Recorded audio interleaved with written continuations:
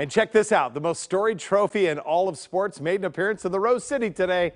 The Stanley Cup brought over to Memorial Coliseum by current Tampa Bay Lightning and former Winterhawk scout Josh Dye, who says the joy that this historic trophy brings really is second to none. It's such a cool uh, reaction that people have when they see this thing, and that's that's you know when we get the people in here, you'll see it. It's it's amazing. It's awesome. Sure was, yeah. The stories that that cup could tell, and to believe it's 124 years old. Some kind of fun for those that were able to go out and see it today. Okay, that is the latest from the sports world. Back with more news right after this.